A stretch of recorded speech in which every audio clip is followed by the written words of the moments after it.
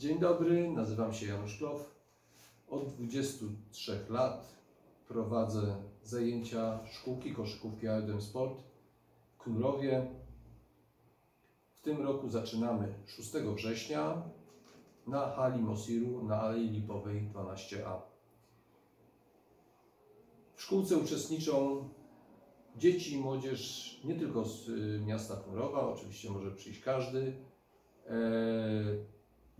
Podzieleni są na odpowiednie grupy wiekowe i dwa razy w tygodniu spotykamy się, bawiąc się i trenując koszykówkę.